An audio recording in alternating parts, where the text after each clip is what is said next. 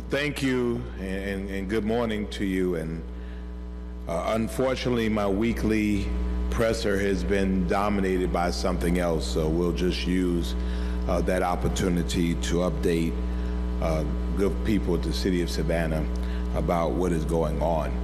Um, we're very fortunate to have with us Dennis Jones of the Chatham Emergency Management Agency, as well as Audrey King of Georgia Power uh, and Faye DiMassimo of Chatham Area Transit that's here, along with uh, Team Savannah, and they'll offer updates um, as, as, we go through this. Um, I think, in short, the important thing here is that we are in a significant storm event right now. Right now. We're feeling the wind, we're feeling the water, uh, and it's going to get worse throughout the day. And Dennis can talk more about that. We have to take this seriously. We have to take it seriously. And so we are uh, thinking and praying for our friends in Florida. As you know, Idalia made landfall about 7:45 this morning, and they are feeling it. They are feeling it, and uh, it's heading this way. And so, if you have no reason to be anywhere, don't. We don't have a curfew at this time. We want you just to stay off the streets. And for those who are uh, have to be absolutely on the streets, we want you to be careful uh, as you traverse the city because different parts of our community will feel different effects uh, at different times. So for us, this is what we do. Uh, all year long, we prepare, we coordinate, we plan, and now we execute the plans that, that we have made. Uh, in these situations, we, uh, we coordinate with our other brother and sister municipalities, with Chatham Emergency Management Agency, um, because we're one community. Uh, but likewise, we also have some things that are very specific to, to us. Um, I've heard from the White House, uh, who called the uh, Federal Emergency Management Agency, has called again offering their support uh, to us.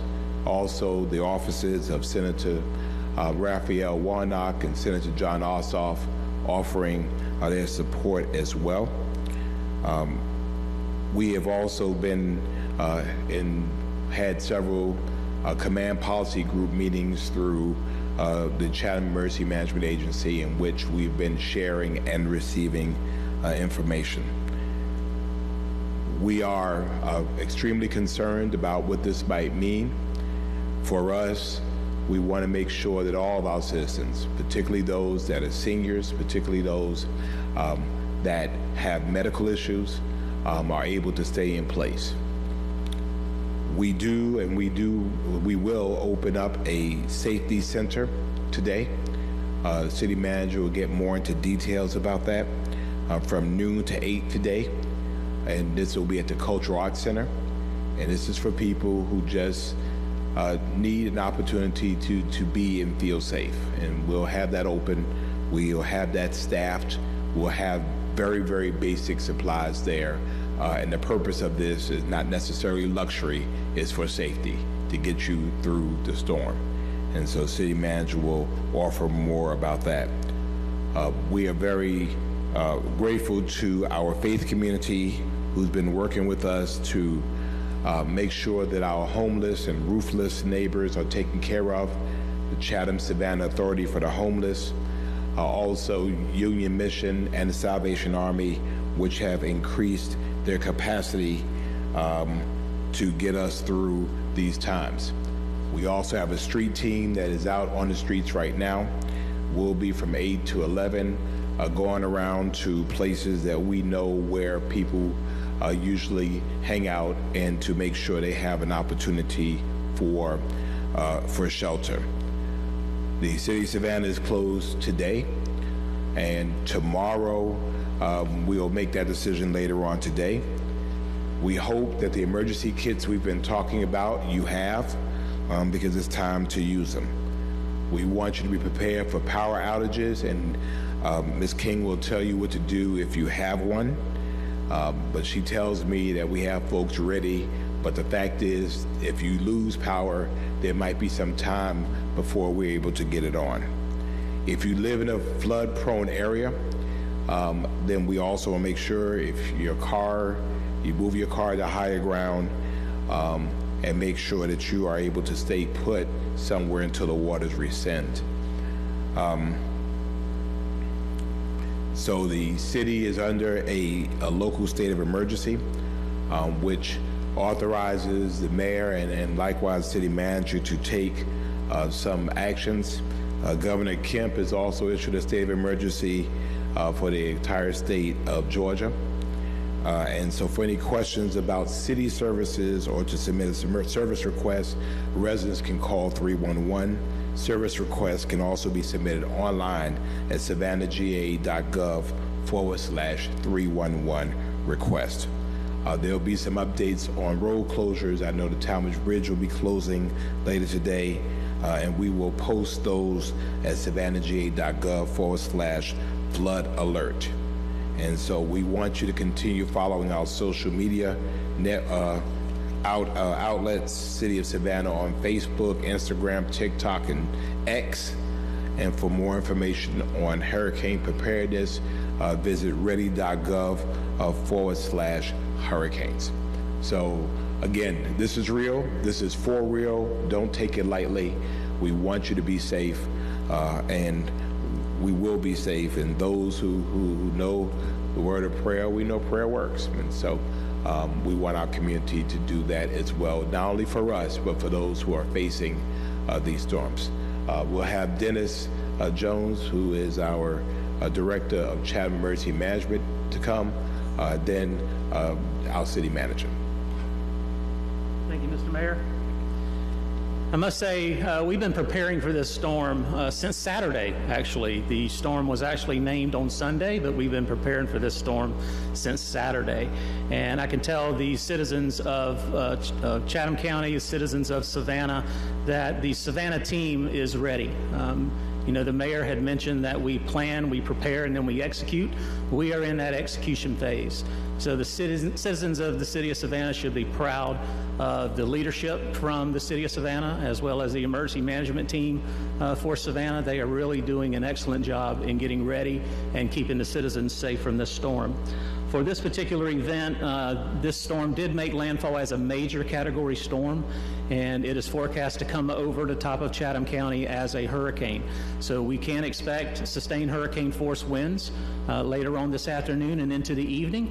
And we could also, uh, of course, with any sustained winds comes uh, an accelerated amount of, of gust, wind gusts that come along with that to hurricane force strength. So we are under a tornado watch. We're also under a hurricane warning. Uh, the further uh, western areas of our county went into a tornado warning uh, just before we started this press conference, and we're getting more intel on that. I believe it's just the, the furthest corner of Chatham County and then also into Bryan. Uh, so we're getting more information on that. So the threat is real. The threat is real. So uh, we can expect the conditions to continue to deteriorate throughout the day. Uh, we can expect around 2 o'clock, 3 o'clock that it starts getting really, really bad for, for the area, and it'll continue into the nighttime hours. So the mayor said it best if you don't have to be outside, please do not be outside. We encourage everybody to shelter in place. Uh, this is a dangerous storm. We want to make sure that people are protected as much as possible. Uh, there is a flooding uh, event associated with this as well, and we also have a tornado threat, as I just mentioned, that will last throughout the night. So please be vigilant. Please stay aware. And whatever government services can do to assist you in making informed decisions for yourself and your family, we want to be available to you. So again, thank you to the City of Savannah, uh, Mr. Mayor, the manager, for their leadership in ensuring that the preparedness efforts for the City of Savannah are paramount in their focus right now. And uh, as I mentioned, we've been preparing for this for a while, so we're ready. Uh, not only City of Savannah, but all the municipalities in Chatham County. So thank you for your time. I'll turn it back over to the mayor. Thank you, uh, thank you Dennis. Thank you, Mayor. Um, want to get into a little bit more in depth about the City of Savannah operations preparedness and our um, readiness to respond um, and get started on any recovery after the storm passes. I want to recognize we've got our Assistant City Manager Heath Lloyd here with us, who's in charge of our infrastructure um, departments and public works, our Fire Chief Elzie Kitchen, Assistant Police Chief Rob Gavin, our Emergency Director Dave Donnelly, and our Chief of Government Operations Gene Pravat here is with uh, with us as well. Um, these folks represent large teams that right now um, are preparing for the storm to come and will be hunkered down as the storm passes and then out on the streets as soon as the weather clears um, to assess any damage and to get the city back open. Our number one priority um, is public safety. Uh, and that starts with our residents at home. As the mayor and Dennis said, please take this storm seriously, uh, limit your movement, and make sure that you're prepared. So we're asking people to secure their property, limit their movements, and, and prepare for extended power outages should they occur, and to stay off the streets as much as possible.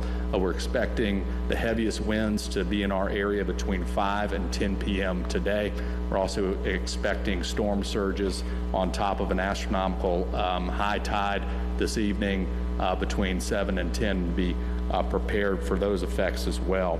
Uh, public safety continues with our Savannah Police Department and our Savannah Fire Department. All are fully staffed and fully deployed today with some upstaffing in some critical areas. We'll have more rescue and response teams ready to go during the storm. Um, and uh, we will be responding to all calls as long as the weather permits. Um, as soon as uh, the winds become too dangerous for fire and police to respond to calls, we will um, stand back, but but be as um, but be rest assured that we are going to do everything we can to remain out on the streets for as long as possible during the storm, and we'll be out in full force as soon as it passes. Um, uh, please remember to use 911 um, only for emergencies. Uh, we want to make sure that we ensure that resources are available to those who need.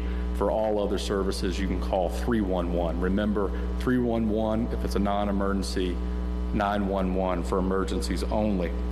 Um, I want to also make folks aware that we are um, really keeping our eye on um, the water on River Street. As many of you may saw, last night's high tide um, got extremely high in the river here on River Street.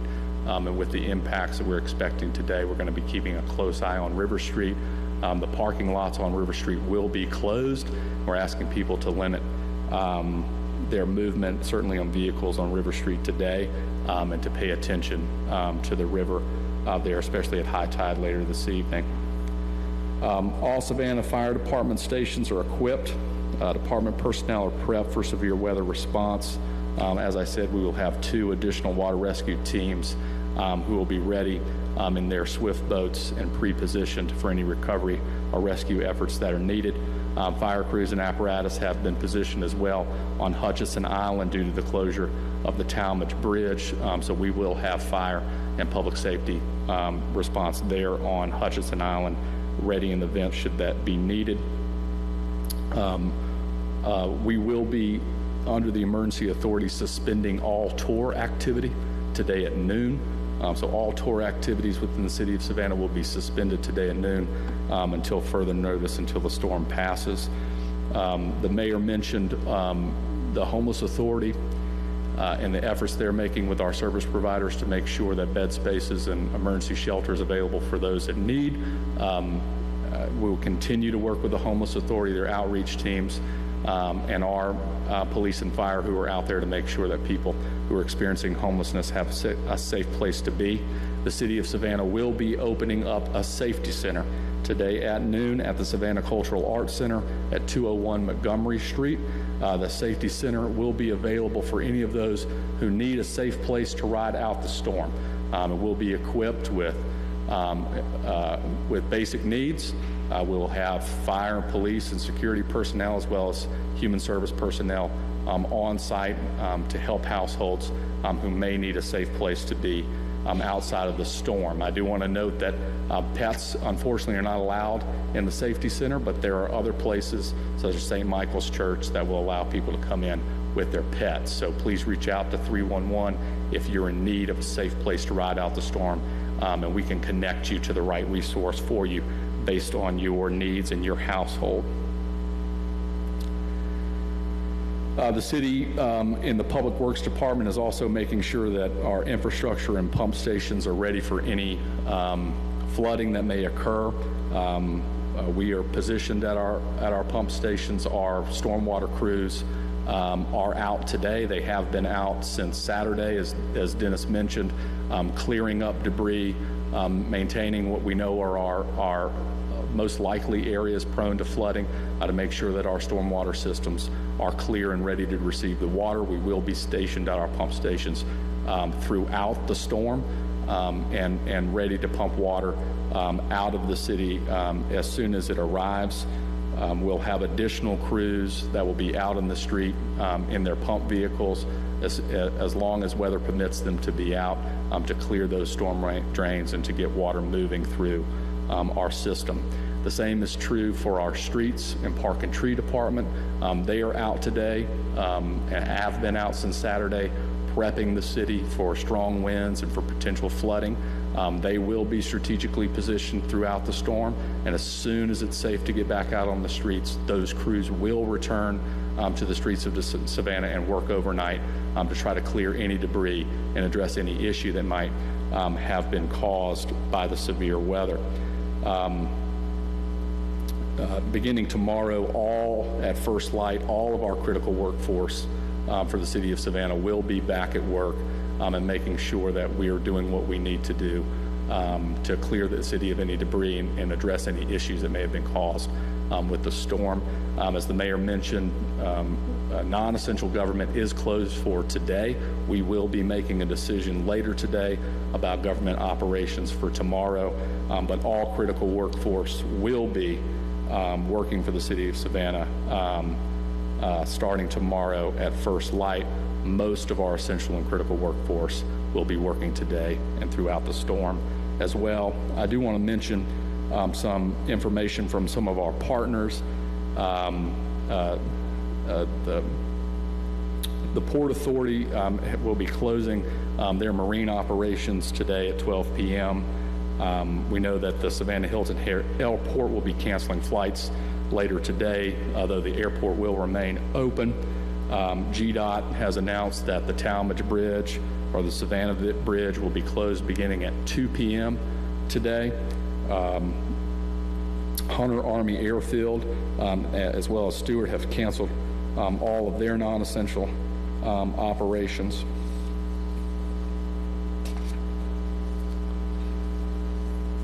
Uh, I believe that's it for our critical infrastructure um, updates. Um, uh, Before we get to questions, uh, Mr. Mayor, I'd like to invite um, both Audrey King from Georgia Power and then um, Faye DiMassimo from the Chatham Area Transit to give updates on um, these critical parts of our infrastructure as well.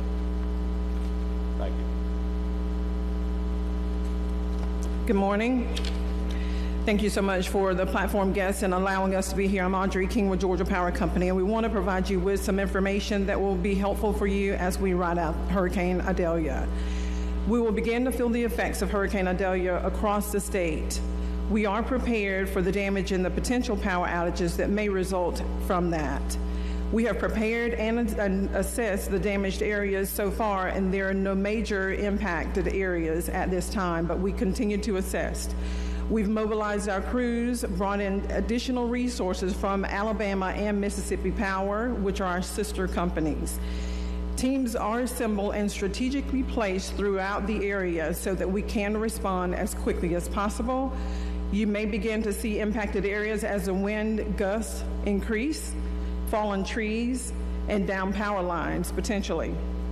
Um, we are assessing all conditions and want to make sure that we assess through our team efforts that we are identifying those areas that may be impacted and restoring that, followed by our, our repair team to get the services restored.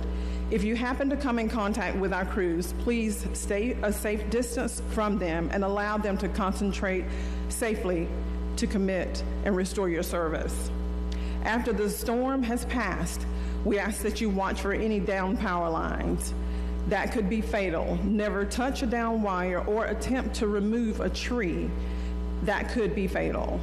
We want to ensure safety for our community. Do not step or stand in any standing water or saturated areas where down power lines may be. Avoid any chain link fences, that too may pose danger. Tools that you can use during this time are outage alerts, where you can, for no cost to you, update your Georgia Power platform for outage notifications and personalized information. You can also contact us through www.georgiapower.com backslash storm. You may also reach our customer service center at 1 888 891 0938. Again, that's 888 891 0938. There's also an outage map for Georgia Power customers that gives you interactive information, provides you outages as they may be occurring, and estimated restoration times. You can also follow us at Georgia Power on Twitter. Thank you so much for your commitment to safety, and we are committed to restoring your service and keeping our community safe. Thank you.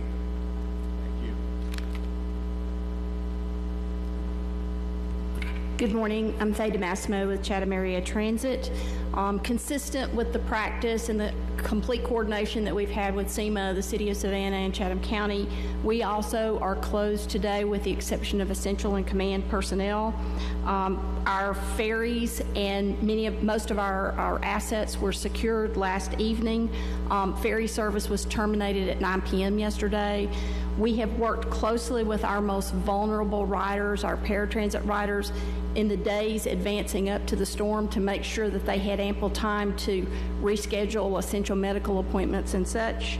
Um, our essential command personnel, as I mentioned, is on site. We have a limited operator staff that has been available this morning and will be available um, for a short time longer to continue to transport anyone that may need it um, in a fixed route um, platform to shelters. And we are, as I said, continuing to monitor our assets, in particular those that are most impacted by the um, marine weather conditions. Um, it was mentioned earlier about the high tide coinciding with the storm surge this evening, um, and we are particularly keeping eyes on our uh, dock infrastructure and so forth and are ready to um, for essential repairs that may be necessary there. We strongly encourage you to continue to uh, stay in touch with CAT and CAT services through our social media platforms as well as our website and we will uh, consistent with the uh, city and the county will be making a decision later today about what our operations will be tomorrow. Thank you. Thank you all. Now, um, we also, the city manager and I met with uh, business leaders um, as well to make sure that they not only were they updated to make sure that they did not have any unmet, need, unmet need, needs. So uh, we're all in this together. I want to, again, before we take any questions, uh, extend my thanks um, not only to Team Savannah, but uh, to our partners and to all of you. Um, some are at home riding out the storm. You all ride the storm. And so, um, whereas you're also very concerned about your safety as well as our folks that work for us, this is what we do. Uh, and so I just want to extend my, my thank yous to all of you um, who are and will be engaged uh, over the next um, couple of hours. So if there are any questions, we can go ahead and take them at this time. We'll start with the microphone. Mr. Mayor, Yes. uh, this is the storm that's kind of, for lack of a better term, coming in the back door on Yes. us. How much harder is that to prepare for? What do you do differently?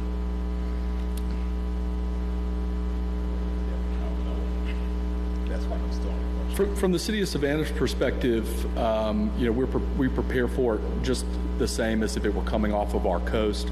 I I think what's different about this storm as we move into, you know, uh, OPCON levels closer to two and one is we don't have an evacuation order in place because, you know, we're not getting a, a direct hit from the storm. But the issues that we're going to be facing in the city of Savannah are the same um, uh, with the storm coming um, from our back door as it would um, from uh, from our coast as well. So, you know, we're, we, we're looking at Uh, We're taking an eye on what our rainfall and and that our storm water system is going to be able to to move that water um, off the streets and and in and back into the river. Of course, we're looking into uh, what the storm surge impacts are, and then wind being um, some of the most critical things we're, we're going to look at at this storm. And I think I'd invite Dennis to talk about if that, any preparation changes from the CEMA level.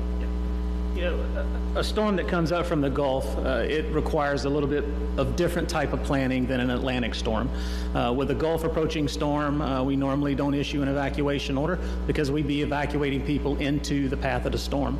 So it allows us a little more flexibility to look at what are the preparedness efforts that we need to take locally and really concentrate on that. But in addition to that, uh, as opposed to an Atlantic approaching storm, we really also got to consider the public impact and also the human impact. You know, how is that going to affect uh, those who are infirmed? How does that affect the hospitals, the long-term care facilities? So we really take a look at that human aspect of those Gulf approaching storms and making sure that we put extra effort into ensuring that those preparedness efforts are in place as opposed to an Atlantic storm. Let- let- Let me add, um, there is another human impact because um, just from folks I've communicated with, they don't seem to think that it's that serious. You know, oh, it's not coming from the Atlantic, you know, it's coming from, from behind us, our back door, so to speak. And so for some reason, they don't equate that as being uh, just as dangerous. I think it brings on uh, some different challenges for us, but it, it still is severe, and hence why we're taking it just as serious if it was coming through the front door. Hey, Mayor Johnson. So, I want to ask you, you talked a little bit about the curfew. No curfew in place right now. No Is that something you're thinking about putting in place? Everything is on the table. Um, again, it depends on uh, the conditions and it depends on the recommendation from our public safety professionals. Um, the key here is don't be out on the streets if you don't have to be out on the streets. Stay home, sit down somewhere, and just ride this thing out if you can. And then those that have to, absolutely have to be out, um, to, to exercise caution. Again, we have a window, and again, it's going to get worse during the day. Thank you. One quick question for the mayor and one for you, Mr. Jones. Uh, Mr. Mayor, I'm, I'm positive you're concerned about the entire city of Savannah, but is there any nook, cranny, neighborhood, or corner that you might consider more at risk that you're really kind of looking at? Um, well, there, could- there, there are a couple, um, and obviously we are concerned about every place, but there are places that we know uh, flood. We know when it when it rains real fast over, and I mean we all know these places. We we know um, the, these intersections in which we know the floods. It always concerns me. It also concerns me where we have um, areas of seniors that own their homes, or and and you know they lose power for an extended period of time or people who uh, have medical machines and so um, yeah those those group of people and they're, they're throughout the city um, really concern me the most and then people who might say I think it's okay I think I'm going to go out um, also concerns me as well and so um, hence why we keep um, preaching this message that until we give the all clear um, that we want people to be safe There been any rescues or emergency situations thus far? we're not familiar with any Okay. Mr. Jones, um, did the sirens go off when the tornado uh, appeared on radar? Yeah, when they issue a tornado warning, they issue a polygon, and our siren system is set up to only activate within that polygon. So all of the sirens did not go off because it wasn't needed. Within that polygon, we don't have any siren locations in that particular area. As I mentioned, it was the extreme corner of, uh, of Chatham County along the Ogeechee River, so there are no sirens in that area. Thank you. You're welcome. Uh, I'd like to ask all three of you, as you've watched the forecast get worse over the last 12 hours or so, um, going from storm to hurricane, is there any one particular impact uh, that worries you the most, potentially? Uh, you know, I mentioned this, the human impact. Uh, you know, how is this storm going to affect, again, those that are infirm, those that are homebound, long-term care facilities, our hospitals. So with any disaster, we always put people first. Uh, you know, with an Atlantic approaching storm, we want to get people out. With a Gulf storm, we want to make sure that services are provided for those people. So that is our foremost concern right now, is making sure that those are infirm, who are infirmed are homebound, um, those who are sick, uh, making sure that they have all the medical services services that they require to include pharmaceuticals, dialysis. So we want to make sure that we're providing those extra services and providing support to those providers in order to be able to make sure that those citizens are getting what they need. Uh, From the City of Savannah operations perspective, I think, you know, um, be the high winds and, and, and making sure that we have the ability to clear roads in response to that human element um, that Dennis was talking about. So uh, that's what we're really going to be focused on as the storm comes and passes is to make sure that we have um, our critical infrastructure cleared and ready to be able to support any human need um, that needs to be addressed. And again, uh, my business is people, and people not underestimating this storm. The fact is that Hurricane fours kill people, so do tropical storms.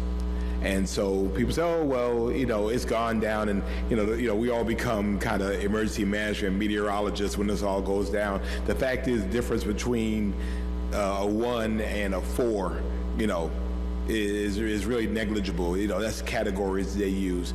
But the fact is, is that a tree comes down, a tree comes down. I remembered um, the last time I believe we had an incident. There was a um, we went to one of the squares, and the tree in the square that had been there probably a couple of hundred years was taken out of the ground. The concrete was up, and the tree was laying on its side and I don't believe that was hurricane force winds. It might have been a tropical storm, um, and so someone could have been under that tree.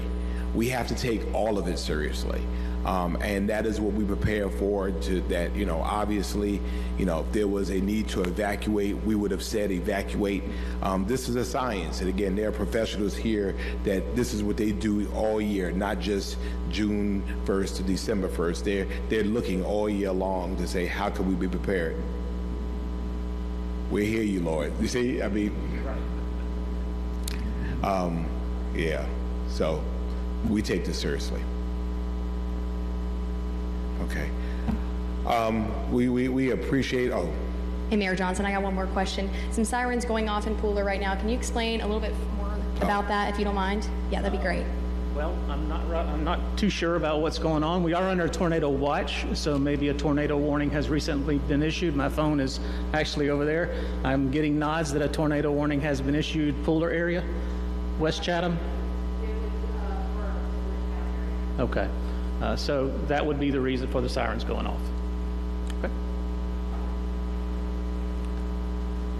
Okay, so um, again, you know, we'll be monitoring uh, and we'll be hunkering down.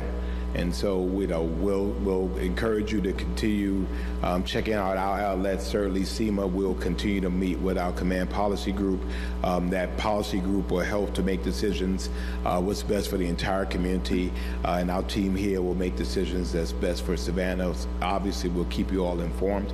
I want to thank all of you for, for coming out. Thank you for your teams and all that they do. Uh, and we'll get through this together and we'll, we'll talk about it on the other side. So thank you all so much. Be blessed. Be safe. Be safe. Be safe. Thank you.